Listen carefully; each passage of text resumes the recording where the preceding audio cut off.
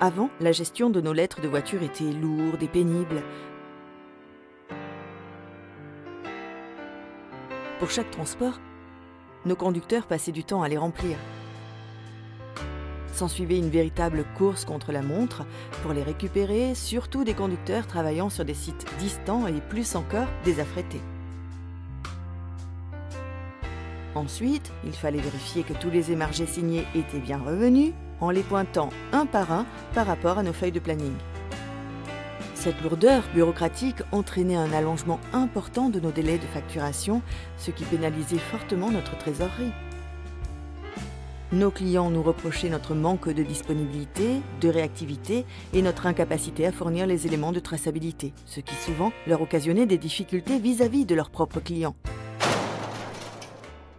Mais ça, c'était avant. Maintenant, nous avons mis en place l'ICMR DashDoc et la méthode de gestion transport ACS. Notre outil de travail d'exploitation ACS échange les informations avec l'application DashDoc. Les lettres de voiture générées par ACS sont transmises sur le smartphone ou la tablette du conducteur. Il peut aussi créer lui-même des lettres de voiture. Il remonte ensuite l'information en temps réel.